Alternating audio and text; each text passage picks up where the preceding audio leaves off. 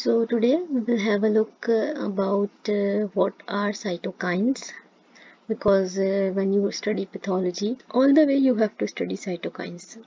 General properties of cytokines role of various cytokines in inflammation. And uh, the most important cytokines are interleukins and chemokines. And uh, whenever you go for your research you must have a background about interleukins and chemokines. And at last we will have a look on applied aspects of cytokines. So cytokines uh, is a combination of two Greek words. The first word is cyto which means cell and kainos. Kainos means movement. So cytokines means movement of cells means some either a substance will move out of the cells. So cytokines are low molecular weight regulatory proteins or glycoproteins and they are secreted by white blood cells and various other cells in the body in response to a number of stimuli. So you remember from where the cytokines are released. Cytokines are released from white blood cells mainly by activated lymphocytes, macrophages and dendritic cells. But cytokines can also be released from endothelial cells epithelial cells and connective tissue cells. And what they are doing? They mediate inflammatory and immune reactions. So this slide will show you different types of cytokine. Basically cytokine is a broad term that can be used for different molecules right? As we discussed in the previous slides cytokines are low molecular weight proteins.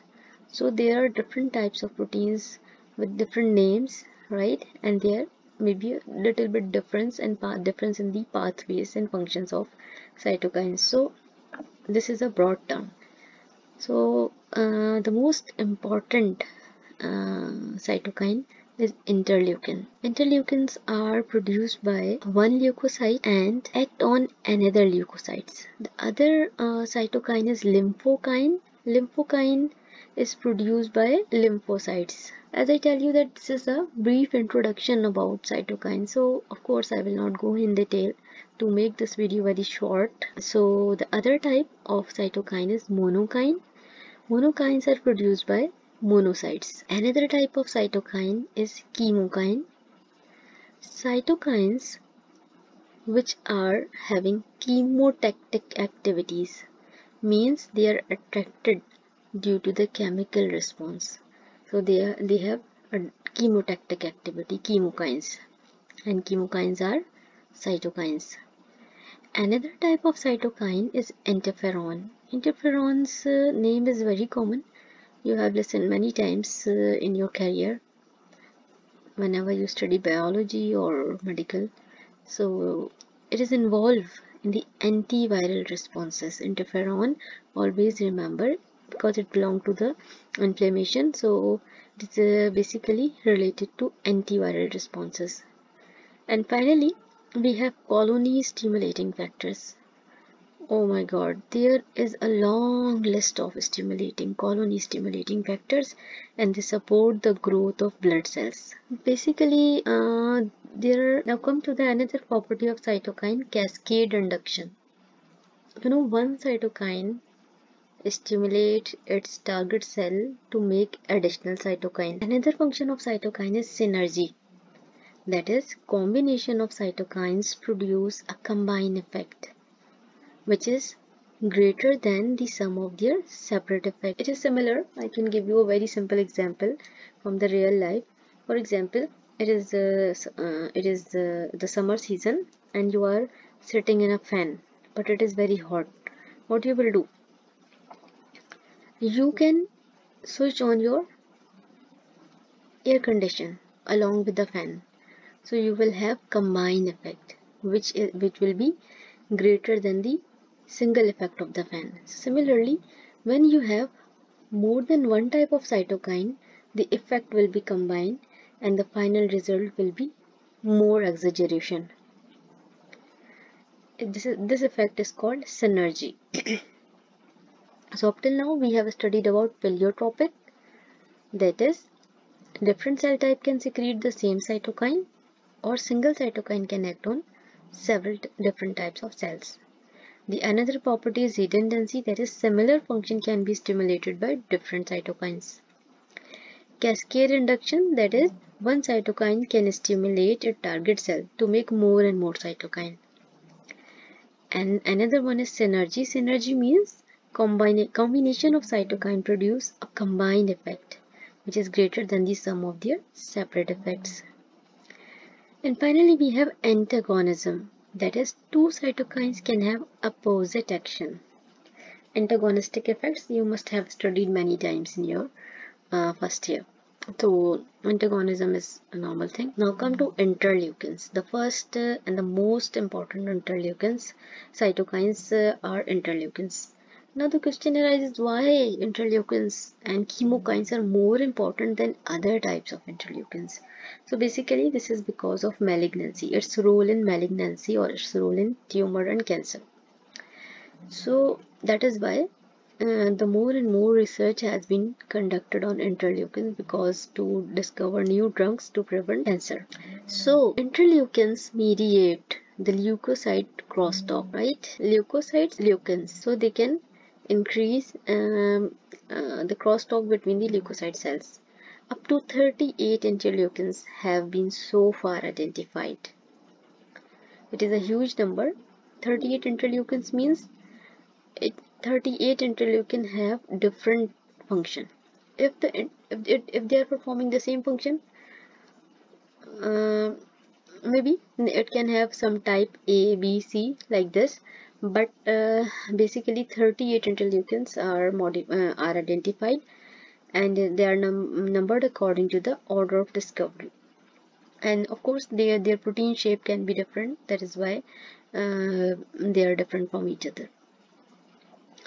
They are involved in the pathogenesis of human inflammatory or autoimmune diseases so there is some difference in the human inflammation and the autoimmune diseases. So we will study later on. Interleukins and other cytokines which have a significant role in acute inflammation are the most important interleukins. And, uh, uh, along with other types of cytokines which are more important in the acute inflammation are interleukin 1, interleukin 6, interleukin 17, tumor necrosis factor alpha and chemokines. These are the most important cytokines. So next time when you hear the word interleukin, you must remember this is the type of cytokine. And whenever you hear the term cytokine, you must have idea that it can it is a generalized term that can be used for different types of proteins and molecules that play an important role in the inflammation or autoimmune diseases the two most important cells which are source of most of the cytokines. I am not talking about only interleukin but overall cytokines. Right? The most important cells which produce cytokines are macrophages and T lymphocytes. So uh, the macrophage macrophages mostly produce interleukin 1 and interleukin 6 and tumor necrosis factor alpha and T lymphocytes produce interleukin 17 and tumor necrosis factor beta. So here you must remember macrophages produce 1 IL, 1 IL-6 and TNF alpha and T lymphocytes are producing interleukin 17 and TNF beta. Now come to some brief introduction uh, about the function and release. First of all, interleukin 1. From where the interleukin 1 comes, we studied in the previous slide. Yes, macrophages.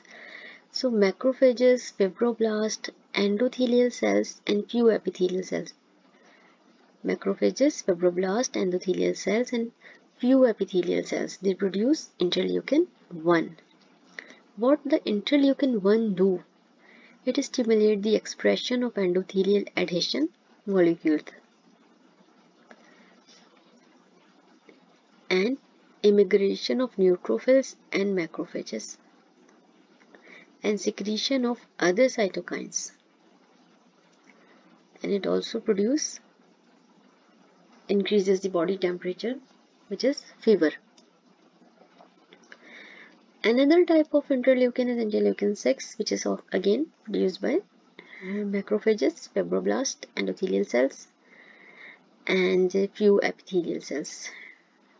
So before you go to study about uh, cytokines chemokines interleukins blah blah blah you must know different uh, types of cells blood cells so that you can have idea okay what they are what the what the function of the cells right? So of course there must be a specific function that is why they are producing interleukins. And macrophages uh, are mostly responsible for inflammation so that is why they are producing inflammatory substances interleukins. So what is the function of interleukin 6 the broad function? Uh, they produce systematic response production of acute phase reactant from liver. Production of acute phase reactant means they are responsible to produce they act on the liver cells and produce some reactant uh, proteins. Particularly important in inducing beta cell to differentiate B cells sorry B cells to differentiate into antibody producing cells that is plasma cells. Again what the interleukin 6 do? Interleukin 6 uh, basically produce systematic response and produce uh, acute phase reactant from the liver that is some substances from the liver. Particularly important in B cells to differentiate into antibody producing cells. Initially B cells are not activated so they can go and activate the B cells to convert into antibody producing cells that is plasma cells. And always remember antibody producing cells are the plasma cells. Now come to interleukin.